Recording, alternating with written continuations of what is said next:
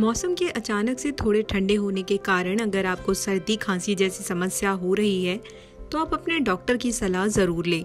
लेकिन आपको बता दें कि आप गिलोय का इस्तेमाल करके भी इससे निजात पा सकते हैं। तो चलिए आपको बताते हैं कि सर्दी, खांसी से राहत पाने के लिए आपको काढ़े में क्या क्या मिलाना चाहिए। पानी दो कप सूखा गिलोय पाउडर, एक बड़ा चम्मच, हल्दी पाउडर, आधा छोटा चम्मच, पुदीना के पत्ते 10 से 12 पीस, एक छोटी दालचीनी छड़ी, काली मिर्च पाउडर, एक चम्मच, अदरक आधा इंच, शहद, एक बड़ा चम्मच। अब आपको बताते हैं कि इसे बनाना कैसे है। आप एक बर्तन में पानी उबालें और उसमें फिर हल्दी और काली मिर्च डालें। इसे एक मिनट के लिए उबलने दें और इसमें गिलोय पाउडर, कसा हुआ अदरक और दालचीनी डाल दें। इसे ढक कर भी धीमी आँच पर एक मिनट तक उबलने दें। इसके बाद इसमें पुदीने की पत्तियाँ और शहद डालें और इसे हिलाएँ।